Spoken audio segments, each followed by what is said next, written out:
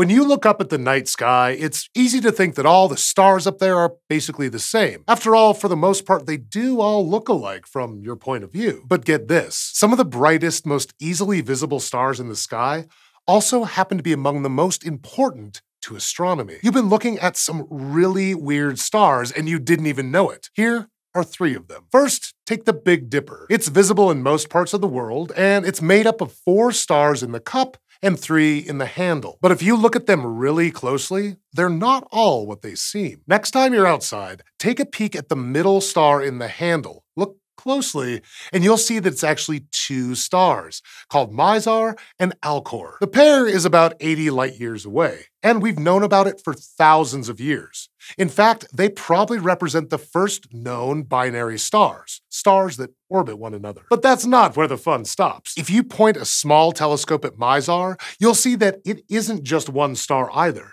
It's also a binary, with two stars now called Mizar A and B. In 1617, it became the first known telescopic binary, or a pair of stars orbiting each other so closely that you need a telescope to split them. Then, in 1890, we found even more stars. The use of a new tool called a spectrograph, which measures light patterns, revealed that Mizar A was itself a binary. In fact, in the years since, we've actually realized that Mizar A, B, and Alcor are all binary stars. So, what looks like one star in the handle of the Big Dipper is actually an intricate sextuple star system. It's binaries all the way down. The Big Dipper is one of the most common and well known figures in the sky, but it's also an easy reminder that everything isn't always what it seems.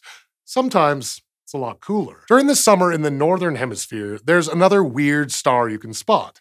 Just look straight up. Even in light polluted skies, you should be able to see an enormous trio of stars called the Summer Triangle. The brightest of those three stars is Vega, and it's long been one of the key reference stars in astronomy. Among other things, astronomy's magnitude system for describing brightness was anchored by Vega the so called magnitude zero star, for decades. But here's the thing Vega might not have been the world's best choice for a standard star. Normally, stars are actually pretty simple things, and every one of the given type should have roughly the same size and brightness, except for Vega. It seems to be a lot brighter than its type would suggest, and over the last couple decades, astronomers have finally figured out why. The fact that stars should follow patterns like these hinges on a critical assumption that they're all basically spheres. And this makes sense. In the simplest sense, stars are just big collections of hot gas. All that hot gas wants to spread out as much as possible, but gravity is constantly tugging it back together. And since gravity pulls with the same strength in every direction,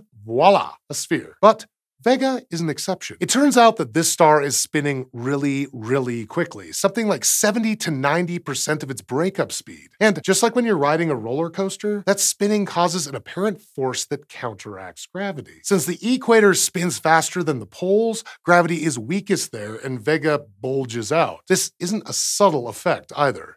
Its radius is 19% larger at its equator than the pole. It looks so bright to us on Earth because, through random chance, our view looks at Vega's pole, meaning we're seeing the largest possible cross section of the star. And with the maximum amount of area emitting light towards us, it's no surprise that Vega seems brighter than it should be. And finally, Vega's got some brightness troubles, but no star in the sky has it worse than Mira. Like the stars in the Mizar system, this one is also a binary pair. It's made of Mira A, a huge red giant, and Mira B, a little white dwarf. You can't spot Mira B with the naked eye, but you can see the red giant in the constellation Cetus. It's visible from basically anywhere on Earth, but it's best seen near the end of the year. Well, when you can see it at all, that is. Some days, it's one of the brightest stars in the night sky.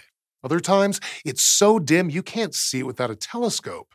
And that is a surefire sign something weird is going on. Mira A, usually just called Mira, is probably the earliest known example of a variable star, or one whose brightness changes substantially back and forth over time. This happens because of big swings in the star's temperature and even its size. Today, we know of a few kinds of variable stars, including other red giants, and we generally understand how they work, but we just can't figure out Mira. See, stars enter the red giant phase after exhausting the hydrogen fuel in their cores and starting to burn heavier elements like helium. Helium burning isn't nearly as steady, so in other kinds of variable stars, it sort of sputters and causes the star to brighten and dim. But that doesn't seem to be the whole story with Mira's big swings.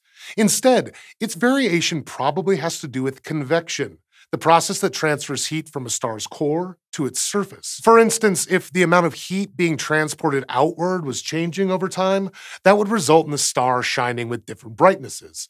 But we're still figuring it out. One thing is sure, though Mira isn't alone in this.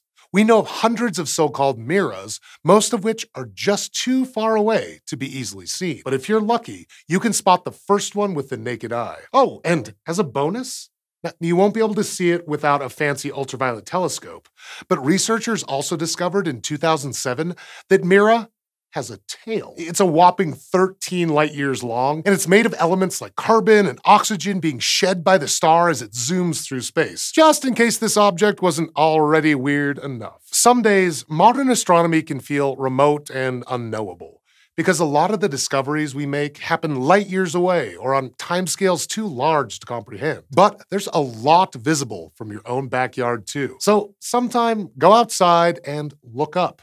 You might just be looking at something really incredible. Thanks for watching this episode of SciShow Space. While you're out stargazing, you might also notice another object in the sky the moon. Sometimes it looks way bigger on the horizon than it should, and it's all thanks to a cool optical illusion. You can learn all about it in another one of our episodes.